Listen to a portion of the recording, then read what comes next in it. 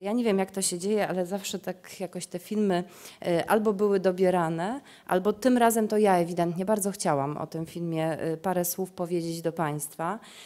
Y, Moje wyznanie będzie takie. Ja nie wiem, czy ja jej powinnam tu robić w ogóle, dlatego że właśnie. no to tak.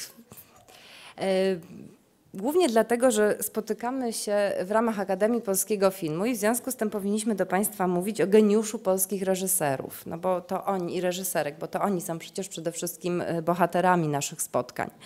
Natomiast ja uczynię na początek takie wyznanie, że y, nie jestem wielką fanką Andrzeja Wajdy.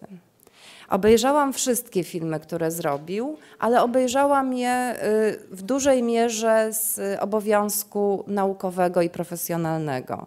I zwykle do nich nie wracam. Natomiast film Niewinni Czarodzieje obejrzałam razy 10. Dzisiaj będzie mój jedenasty raz, y, kiedy będę ten film oglądała. Y, I powiem Państwu szczerze, że już się na tę projekcję cieszę. Podobnie jak się cieszyłam.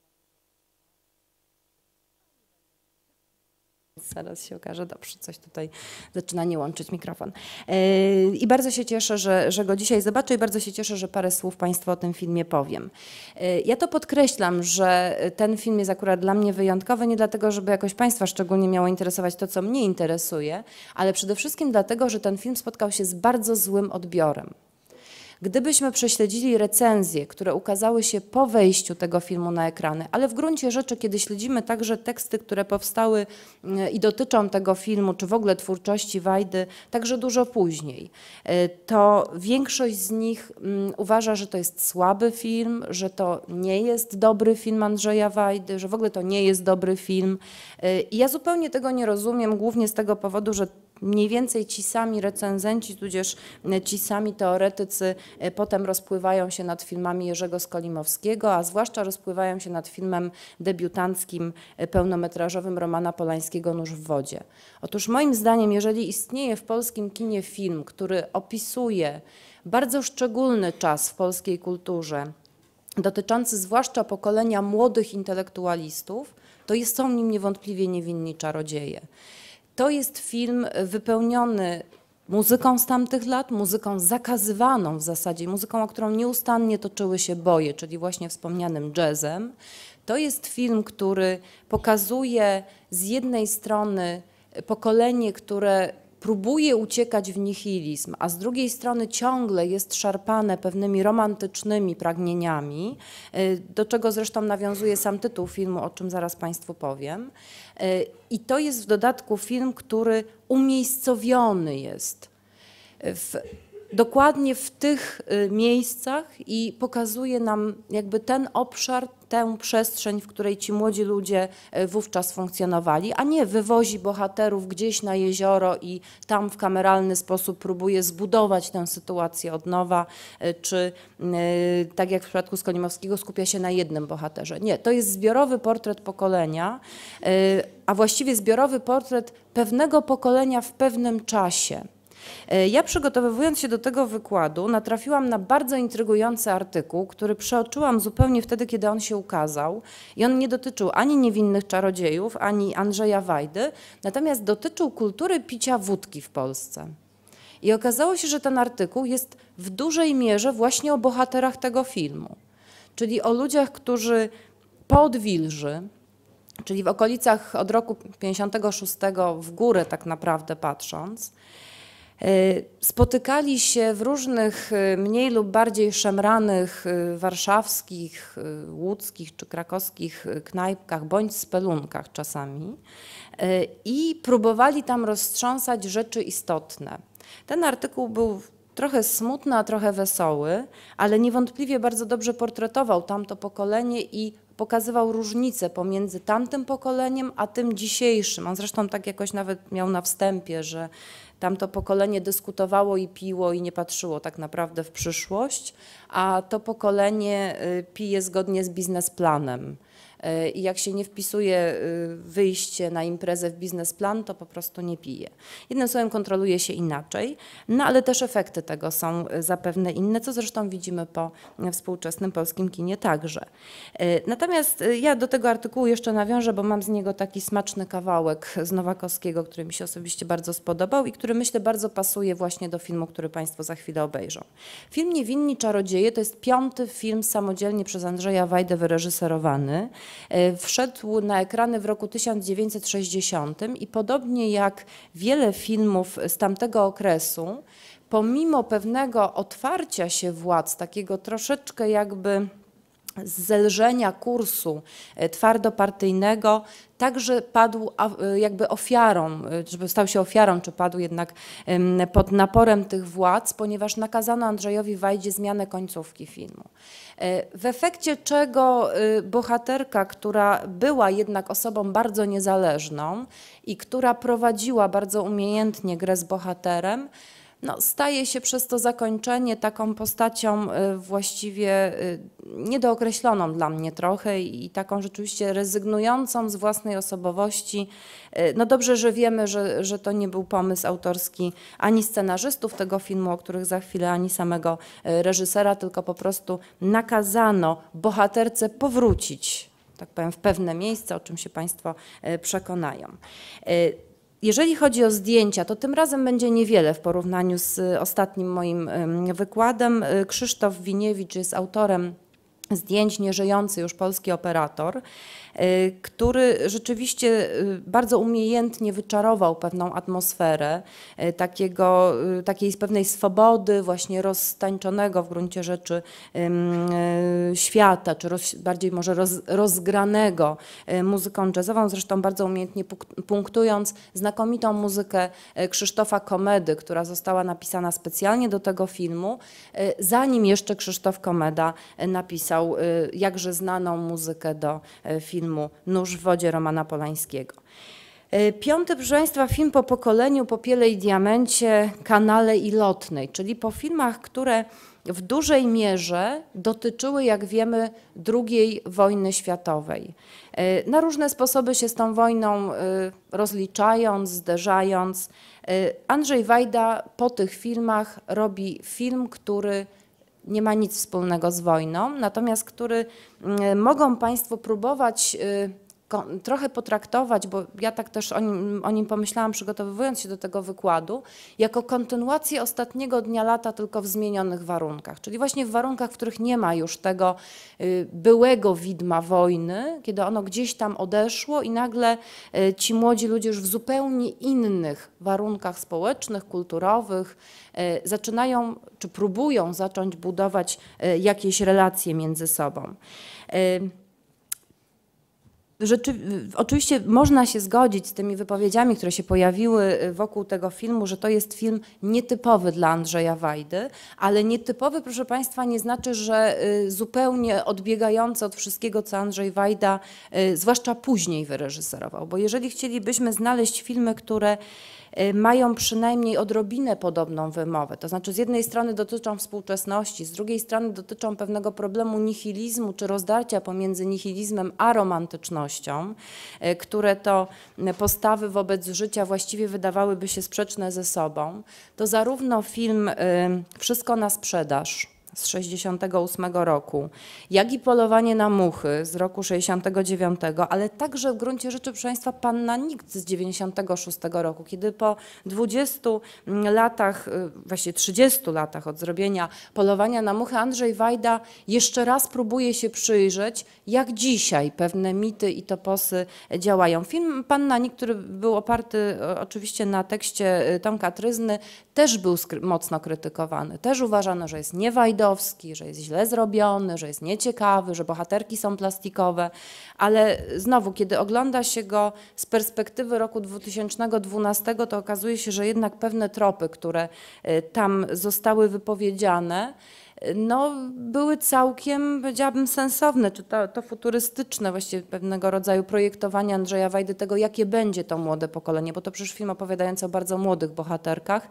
No w gruncie rzeczy się sprawdziło. Ja myślę, że taką najlepszą, najlepszym dowodem na to są losy jednej z aktorek, która właściwie została przez ten film w sumie odkryta, czyli Anny Muchy. Jeżeli prześledzimy to, jaką bohaterkę zagrała w Pannie Nikt i jak następnie potoczyła się jej kariera w życiu e, publicznym, aktorskim, serialowym, ale także, e, powiedziałam, takim obyczajowo-towarzyskim Warszawy, to w zasadzie jest to pewnego rodzaju e, dobry punkt wyjścia do takiej szerszej analizy samej, nie tylko postaci Andrzejo, y, z filmu Andrzeja Wajda, ale także samej y, postaci aktorki.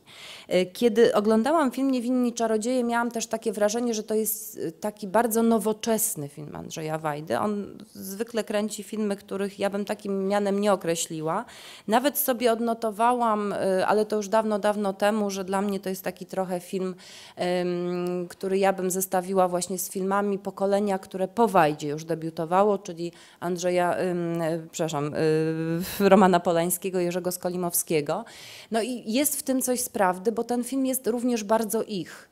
Jerzy Skolimowski był współscenarzystą filmu Niewinni Czarodzieje, natomiast y, Roman Polański w tym filmie zagrał, no i oczywiście bardzo aktywnie brał udział w pracach w trakcie realizacji filmu, y, więc to piętno tego już troszkę młodszego od Wajdy pokolenia też zostało na tym filmie odciśnięte. Ale w gruncie rzeczy musimy też pamiętać, że Andrzej Wajda w roku 60 ma 34 lata, czyli jest właśnie tym młodopokoleniowym, ciągle jeszcze reżyserem, y, który w tym filmie opowiada tak naprawdę o tym świecie, który zna najlepiej, czyli właśnie o świecie jazzu, o tym świecie, który, y, któremu patronowały dwa wielkie nazwiska na polskiej scenie y, artystycznej.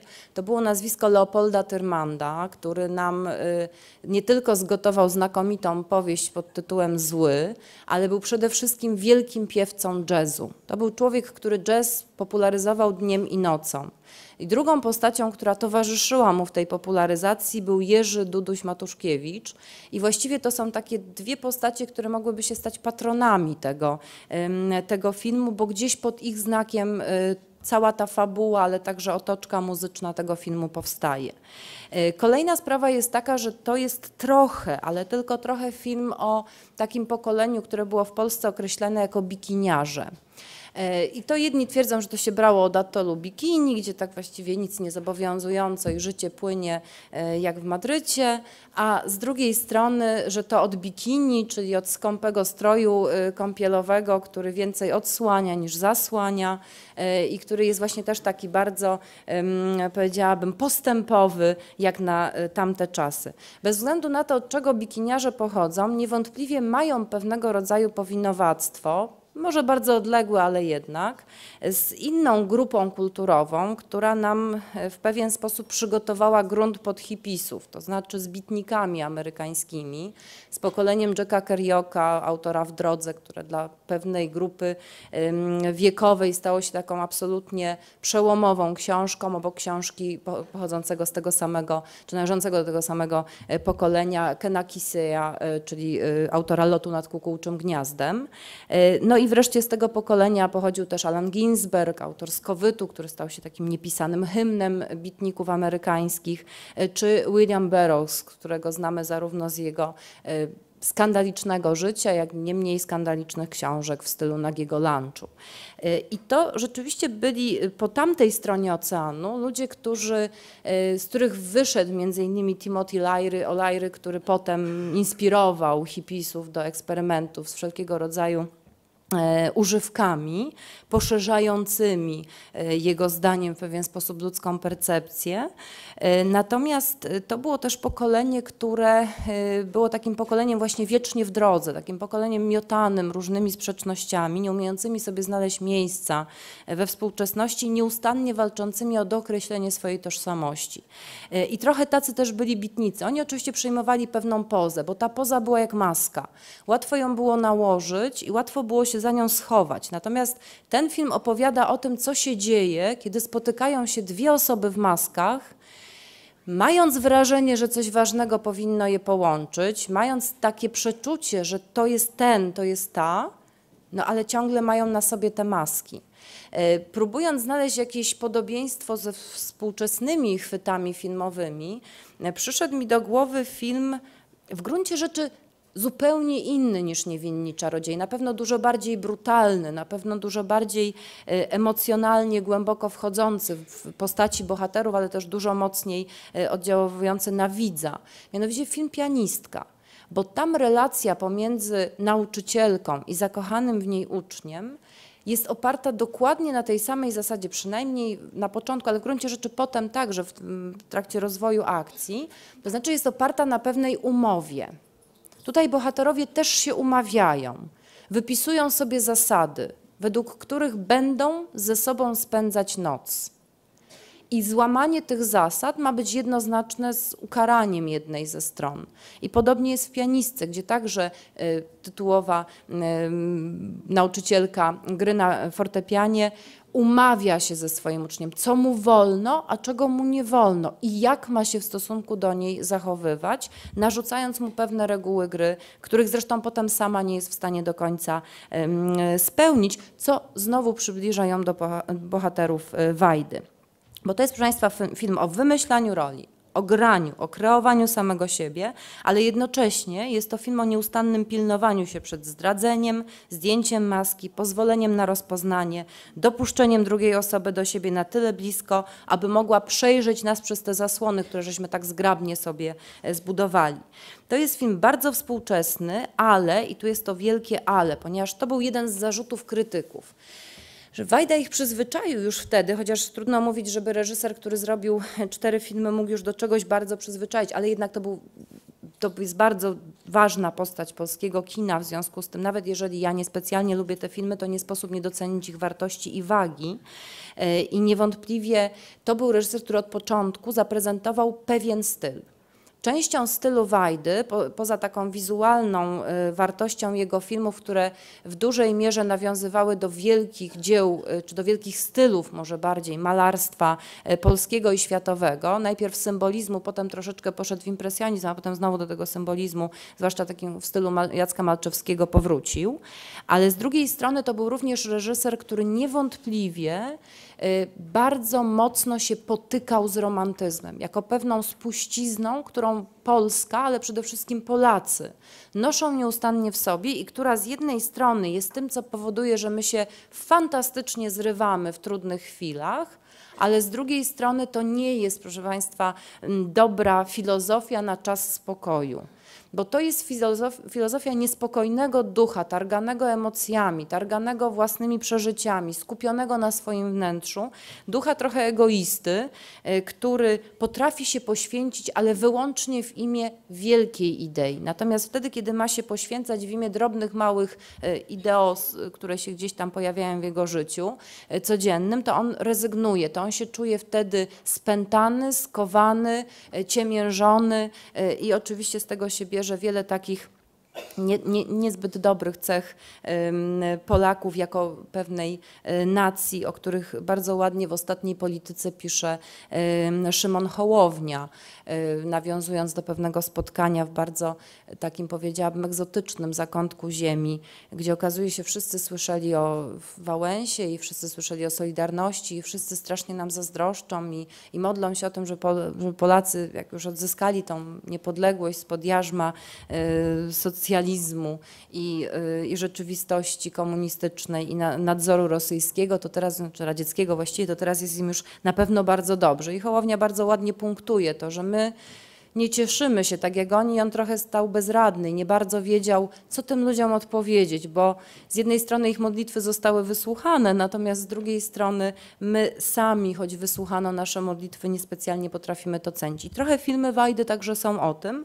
Y, natomiast film Niewinni Czarodzieje jest bardzo pokrętnie o romantyzmie, bo rzeczywiście mm, jako film bardzo współczesny, jako film, w którym właściwie wojna nie istnieje, nie funkcjonuje, y, no to nie bardzo wiadomo, gdzie gdzie ten romantyzm miałby się zmieścić. A jednak już sam tytuł, proszę Państwa, mówi nam wyraźnie, gdzie jest, że tak powiem, geneza tego filmu. Otóż y, Niewinni czarodzieje to jest fraza, która się pojawia w, jednej z, w jednym z wersów Dziadów Widowiska. Ja Państwu przytoczę w całości ten fragment, w którym niewinni czarodzieje występują. Y, to jest y, monolog dziewicy, która jest tam główną w zasadzie bohaterką tychże dziadów widowisko. Witajże ma jaskinio, na wieki zamknięci, nauczymy się więźniami stać się z własnej chęci. Czyż nie znajdziem zatrudnień, mędrce dawnych wieków zamykali się szukać skarbów albo leków i trucizn. My, niewinni młodzi czarodzieje, szukamy ich, by otruć własne swe nadzieje. I z tego fragmentu y, Andrzej Wajda tych niewinnych czarodziei, młodych rzeczywiście, wyłuskał. I kiedy oglądamy ten film, to rzeczywiście widzimy, że oni nic innego nie robią przez te kilkadziesiąt minut, tylko szukają trucizn po to, żeby własne nadzieje otruć. To jest dokładnie to, właściwie ten fragment byłby najlepszą chyba recenzją e, filmu Andrzeja Wajdy, bo młodzi dwaj bohaterowie, właściwie bohater i bohaterka, mają olbrzymią nadzieję na znalezienie swojej drugiej połowy. Taką prostą nadzieję, którą e, pewnie żywi bardzo wielu ludzi na świecie. Mają też przeczucie, że to chyba ta osoba, o czym już wspomniałam, a jednak przez cały czas to uczucie próbują zatruć.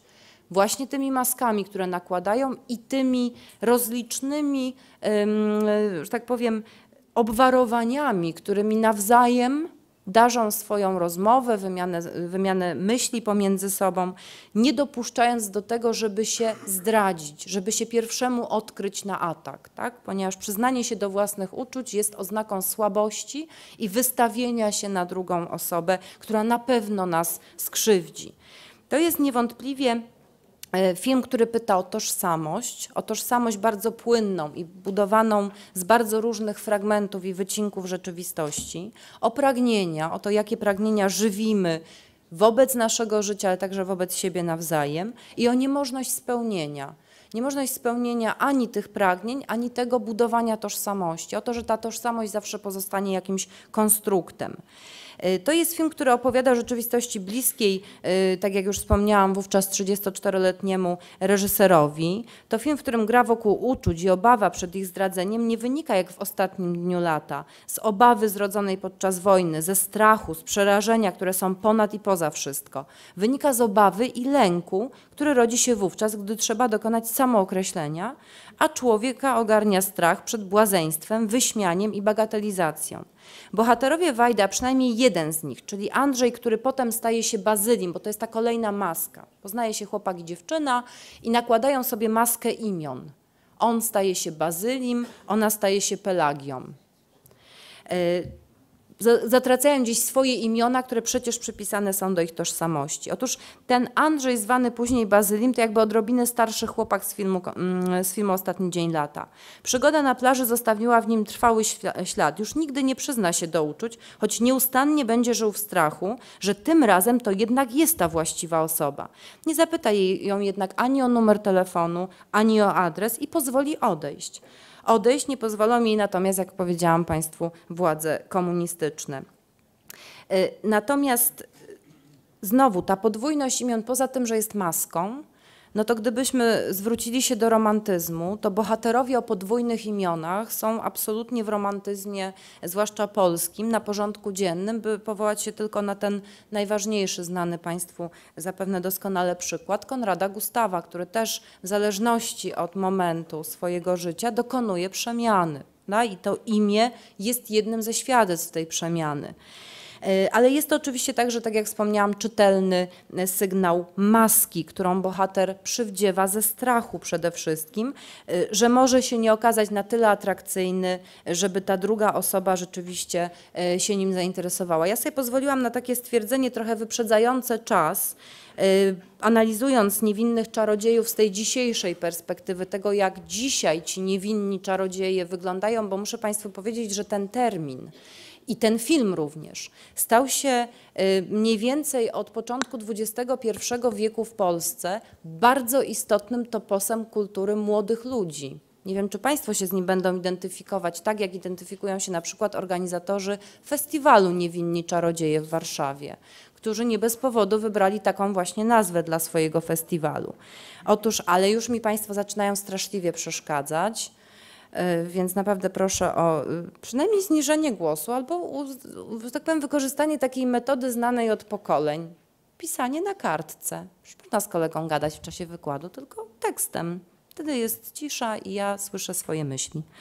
Otóż, proszę Państwa, to jest tak, że niewinni czarodzieje są dla mnie trochę jak internauci bez internetu jak bohaterowie Second Life'a, którzy w tym Second Life'ie nie mogą zaistnieć, bo jeszcze nie ma tego Second Life'a w sieci.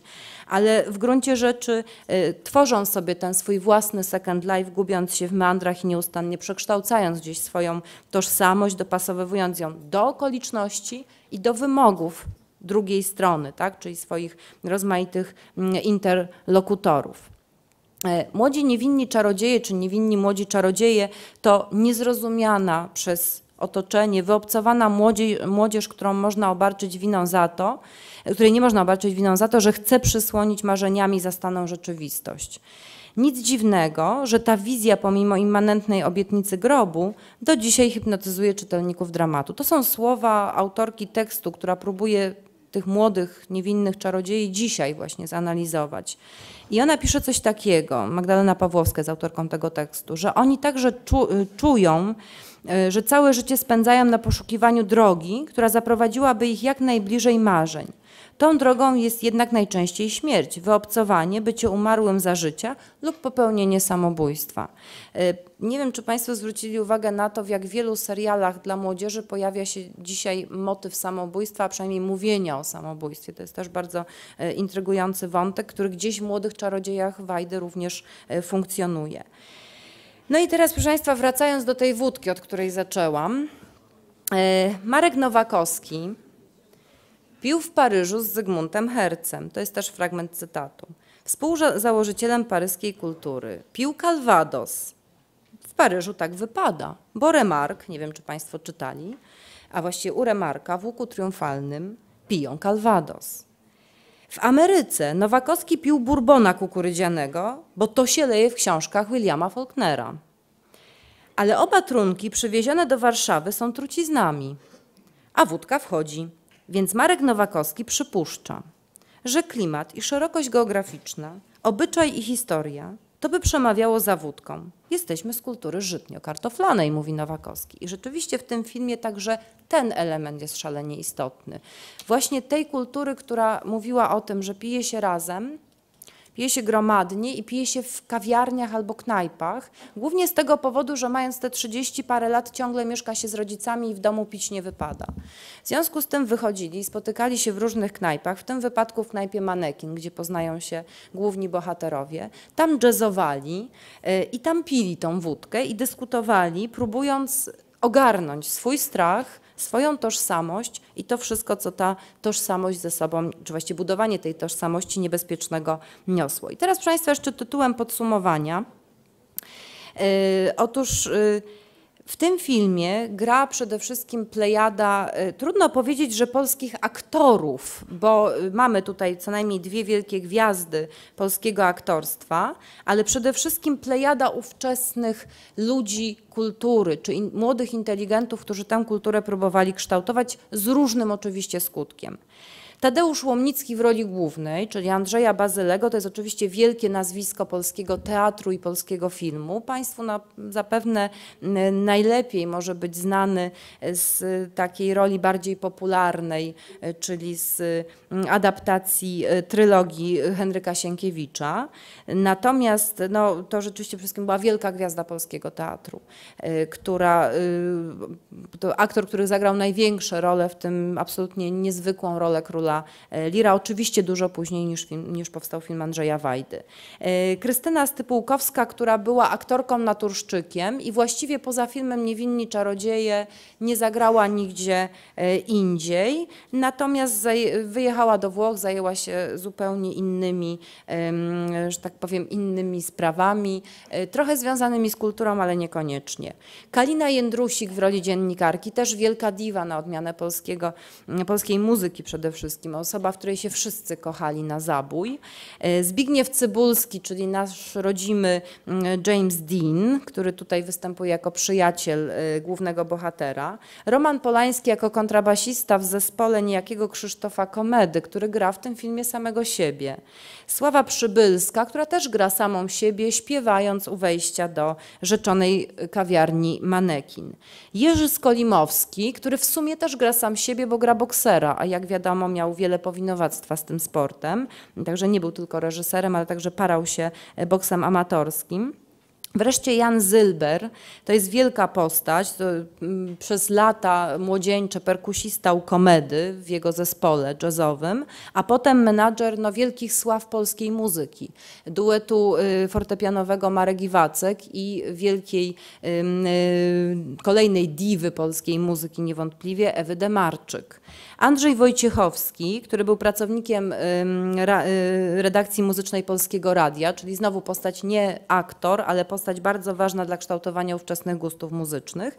No i wreszcie, proszę Państwa, Andrzej Trzaskowski, który też był muzykiem jazzowym, a od roku 75, czyli 15 lat po tym, kiedy zagrał w Niewinnych Czarodziejach, objął funkcję dyrektora i kierownika artystycznego orkiestry Polskiego Radia i Telewizji Studio S1 w Warszawie. Proszę Państwa, być może Państwu nazwa Studio S1 nic nie mówi, ale to było jedno z najbardziej eksperymentalnych studiów radiowych, właściwie najnowocześniejsze i najbardziej eksperymentalne studio radiowe w tej części Europy, które do dzisiaj jest wspominane między innymi tych, którzy przez tych, którzy związani są z tak zwaną muzyką elektroakustyczną, wynikającą z przemian w muzyce, które się pojawiły po wprowadzeniu w życie i w twórczość i w kompozycję do dekafonii e, przez Schönberga, Webera i e, Berga.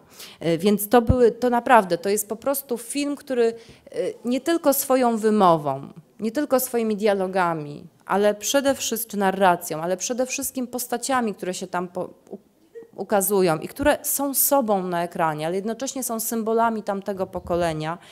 Pokolenia, o których y, ten sam dziennikarz, który y, pisał właśnie o tej wódce i o Marku Nowakowskim, napisał, że było pokoleniem straconym, że albo spotykano się na jego pogrzebach, jak w przypadku Stanisława Grochowiaka, albo przechodzili długie i wieloletnie odwyki, jak w przypadku profesora dzisiaj Osiatyńskiego, e, który e, wtedy do tego pokolenia należał i te wielkie kawiarniane dyskusje w oparach tytoniu i wódki toczył. E, proszę Państwa, film pomimo tego, że został przez władze źle przyjęty, że został przez krytykę nie najlepiej przyjęty Polską, doczekał się jednej bardzo istotnej wówczas nagrody w 1961 roku, otrzymał dyplom na Międzynarodowym Festiwalu Filmowym w Edynburgu y, i rzeczywiście była to wtedy, był to wtedy wielki sukces y, Andrzeja Wajdy i tego filmu. I mam nadzieję, że dzisiaj wielkim jego sukcesem będzie to, że Państwo z przyjemnością ten film obejrzą. Dziękuję bardzo.